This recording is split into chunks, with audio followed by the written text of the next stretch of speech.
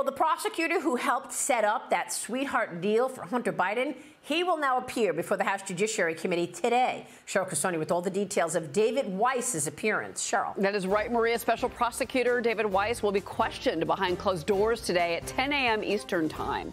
He is expected to maintain that he's got full authority over the Hunter Biden investigations.